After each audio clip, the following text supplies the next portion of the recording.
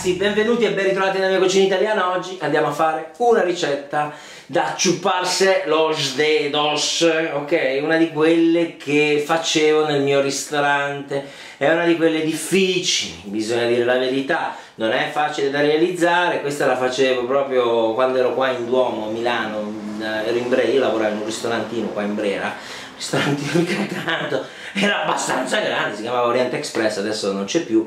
Peccato, era in via Fiorichiari, non so se avete presente in Brera, Castello Sforzesco, Brera, Piazza del Duomo e poi il resto del mondo. Questa è gourmet, questa è gourmet, è da ristorante importante ed è una ricetta pura, mm? adesso lo andrete a vedere. Ci sono dei livelli di difficoltà abbastanza seri, ma nonostante il caldo io penso di riuscire a farla, un po' di tempo che non la faccio, però, però è veramente molto molto buona passaggi ci sono, badabam badabam bam bam, siete pronti? Sì, bene, così almeno facciamo contenti quelli che dicono che fai le cucine anni 80 e adesso andiamo a fare la cucina anni 81. Ci serviranno in totale 2 kg tra lupini, vongole veraci, fasolari e cozze, ma vanno bene anche un solo tipo di vongole, o le veraci o i lupini. Io i lupini ve li consiglio perché sono decisamente molto più buoni, hanno proprio un sapore e un profumo di mare che fa paura. Ovviamente prima di eh, consumarle vanno fatte spurgare per eliminare i granelli di sabbia e le altre impurità. Per farlo, metterle in ammollo con acqua e sale per un totale di 6 ore e ogni 2 ore cambiare l'acqua. Per ogni litro di acqua ci vorranno 25 g di sale. Poi ci servirà uno spicchio d'aglio privato della pellicina e del Pinot Rosa. In questo caso il Pinot Rosa rilascerà delle tonalità fantastiche che si legano davvero molto bene con le vongole.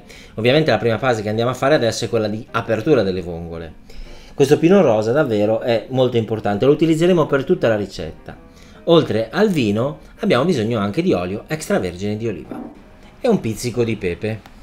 All'interno di una padella dai bordi alti inserire un filo d'olio extravergine di oliva lo spicchio d'aglio intero, vi ricordo, senza la pellicina, perché abbiamo bisogno che rilascia bene il suo profumo e il suo sapore, e inseriamo tutte quante le vongole e anche le cozze. Quindi aggiungere un bel bicchiere di vino, non siate timidi, mettetelo perché comunque è importante. Ah, dimenticavo, quando pulite le cozze mi raccomando eliminate anche il bisso, ovvero quella barbetta. Una bella macinata di pepe nero, mettere dunque il coperchio e far cuocere fino a quando non si saranno aperte e avranno rilasciato tutta la loro acquetta. In questa fase tenete la fiamma bella viva e rigiratele di tanto in tanto per far sì che si aprano tutte. Fra un passaggio e l'altro rimettere il coperchio. E voilà, sono pronte. Questa acquetta rilasciata dalle vongole è importantissima in quanto darà non solo il sapore al riso ma anche il giusto livello di sapidità. Mettere dunque le vongole all'interno di una boule e filtrarla. Anche se le abbiamo fatte spurgare bene, qualche vongola potrebbe essere morta in precedenza. Questo non vuol dire che non è buona, sentite comunque il profumo, se ha un buon profumo allora è ancora buona. E quella morta eh, con il calore si sarebbe comunque potuta aprire e avrebbe comunque potuto rilasciare della sabbia. Quindi in ogni caso bisogna filtrare questa acquetta di base. Più o meno ho recuperato mezzo litro di acquetta meravigliosa da 2 kg di vongole e qualche cozza. Questa acquetta non va bene per fare il risotto come fumetto o come brodo perché è molto salata, è molto saporita, è molto concentrata, quindi dobbiamo semplicemente diluirla. In totale noi abbiamo bisogno di un litro esatto, quindi aggiungiamo semplicemente dell'acqua per arrivare a un litro. Travasiamo dunque il tutto all'interno di un pentolino e lo mettiamo sul fuoco e la portiamo ad ebollizione. Intanto sgusciamo le vongole e le cozze, qualcuna magari la lasciamo integra per decorare il piatto e recuperiamo anche quel pochino di acquetta e lo aggiungiamo al brodino. Quando giunge ad ebollizione spegnere il fuoco e lasciare con il coperchio per mantenere a temperatura. E voilà, passiamo alla preparazione del riso. Abbiamo bisogno di 300 g di riso vialone nano, in alternativa va bene anche il carnaroli. Questi sono i due risi indicati per fare il risotto. Poi uno spicchio d'aglio tagliato semplicemente a metà e privato della pellicina perché abbiamo bisogno del suo sapore, un pochino di sale, il pino rosa, un pochino di pepe, qualche fogliolina di basilico, vedete? Non tantissime ma qualcuna ci vuole, un paio di filettini di acciughe e circa 30 grammi di burro.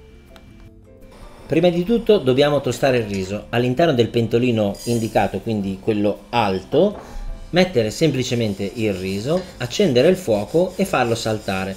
In alternativa potete utilizzare anche un cucchiaio di legno. Deve arrivare a circa 50-60 gradi per tostarsi bene. Sentite che rilascia proprio un profumo quasi di pane, quasi di cotto. Ecco, questo è importante perché questa è la giusta e vera tostatura del riso e si fa senza olio, senza grassi, senza niente.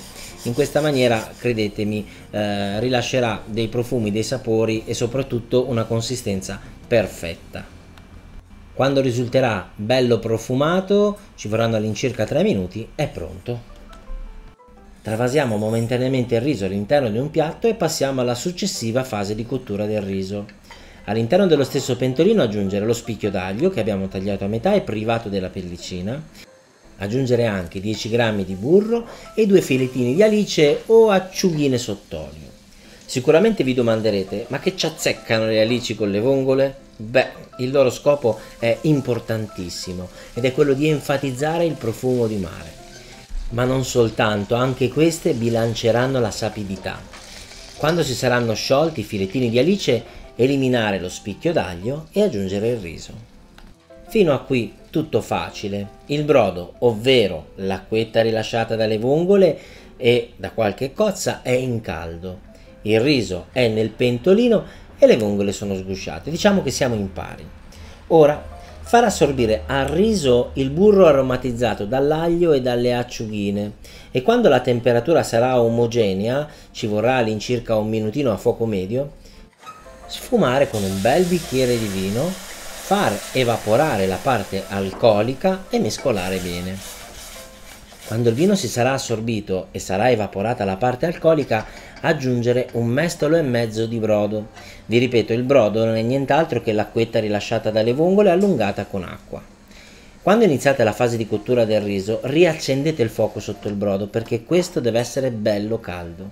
Mescolare bene fino a quando il brodo non sarà assorbito, quindi aggiungere un altro mestolo e mezzo di brodo e continuare così fino a metà cottura.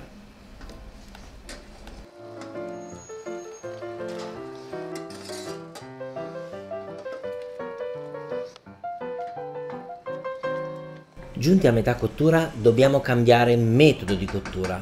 Fino adesso abbiamo cucinato il riso a fuoco vivo mescolando continuamente.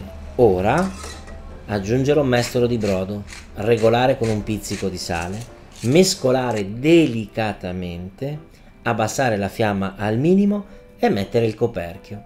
Da questo momento in poi non dovremmo più mescolare continuamente il riso e dovremo continuare la cottura a fuoco basso. Quando il brodo si sarà assorbito, togliere il coperchio, mescolare delicatamente, aggiungere un altro mestolo di brodo, rimescolare delicatamente per distribuire il brodo bene dappertutto, rimettere il coperchio e continuare la cottura e questi passaggi fino a quando non avrete terminato il brodo.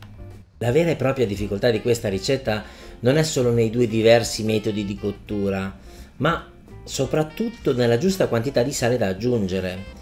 Questo perché la quantità di sale contenuta nell'acqua delle vongole varia sempre, ma posso darvi un suggerimento. Assaggiate sia il brodo che il riso nelle varie fasi di cottura e regolatevi di conseguenza. E voilà, il brodo è finito.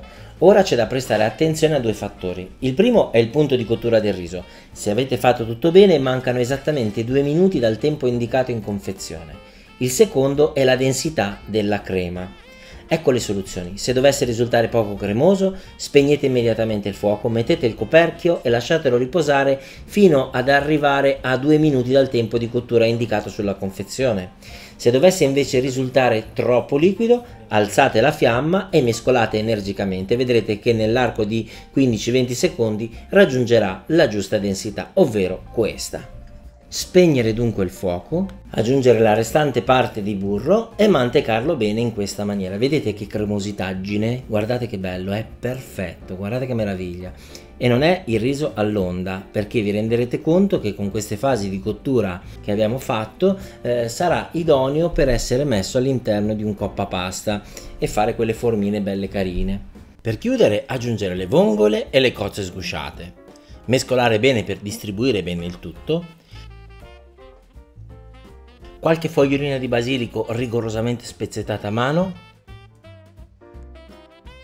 ed infine le cozze e le vongole quelle con il guscio per decorare il piatto quindi mettere il coperchio e far riposare 5 minuti prima di andare ad impiattare. In questa maniera tutti gli aromi, tutti i sapori, tutti i profumi si andranno ad armonizzare e il riso raggiungerà la sua giusta consistenza. Buon Natale ovviamente!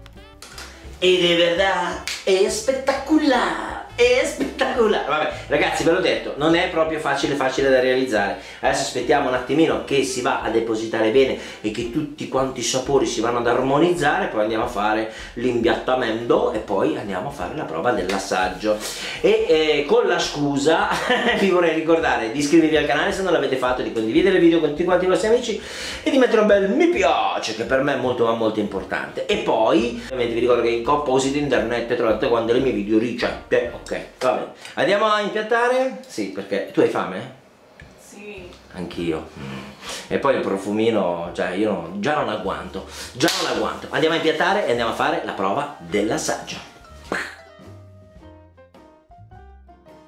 Per chiudere il piatto con questo strumento tecnologico di altissima tecnologia industriale, andare a ricavare un pochino della scorzetta del eh, limone, guardate, è fantastico.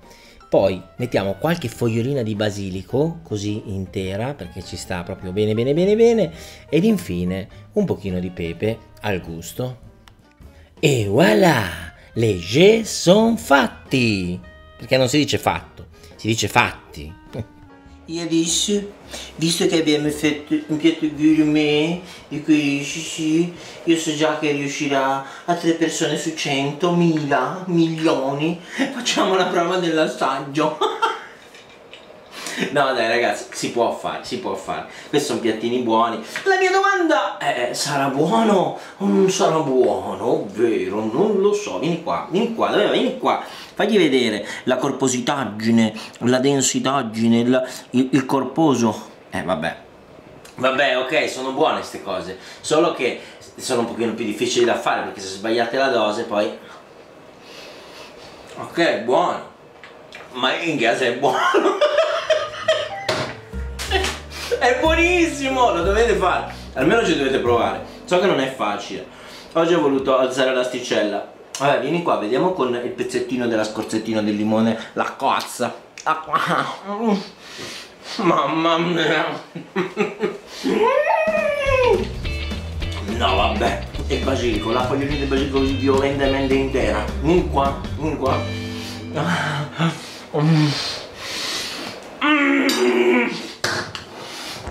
Ma che cosa non è? No, no, vabbè, vieni qua, vieni qua, vieni qua, apri la bocca, apri la bocca, non fare sceneggiate. No, apri. Se l'hai sbranato. e io mi spreso il resto. che buono Ma cosa te lo dico a fare? Vieni qua, facciamo un brindisi. Dai, adesso la prossima volta fatelo, fatelo Facciamo così, facciamo un gioco. Vieni qua, stai qua. Ma il piatto me lo, me lo mangio io, inutile. Tu concentrati sulle riprese. allora, facciamo una cosa.